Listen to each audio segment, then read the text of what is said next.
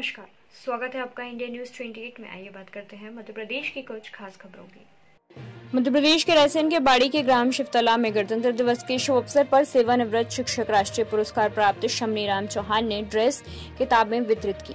ग्राम शिवतला शाला की दस छात्राएँ व सोलह छात्रों को, जो अनुसूचित जाति के निर्धन छात्र छात्राओं को ड्रेस, कॉपी, पेन प्रदान कर सम्मानित किया। कार्यक्रम में मुख्य रूप से उपस्थित रहे गंभीर सिंह पटेल, राजेंद्र सिंह चौहान समाज सेवी मोहराव सिंह ठाकुर, मंडल अध्यक्ष भाजपा होशियार सिंह चौहान, पूर्व मंडल अध्यक्ष महेश चौहान नेताजी सुरेश ठाकुर शैलेन्द्र सिंह ठाकुर, योग शिक्षक कार्यक्रम में शाला प्रभारी अवध नारायण चौहान, राधेश्याम ठाकुर उपस्थिति उल्लेखनीय रही।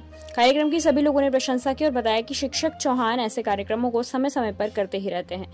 बाड़ी से ब्रजेश ठाकुर की रिपोर्ट।